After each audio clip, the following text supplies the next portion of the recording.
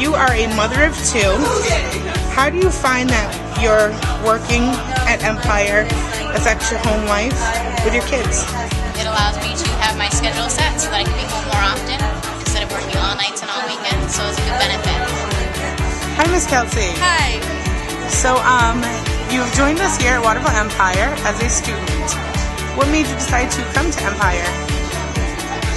Because I really like doing hair and working with people, and I thought this one would be a nice school to go to.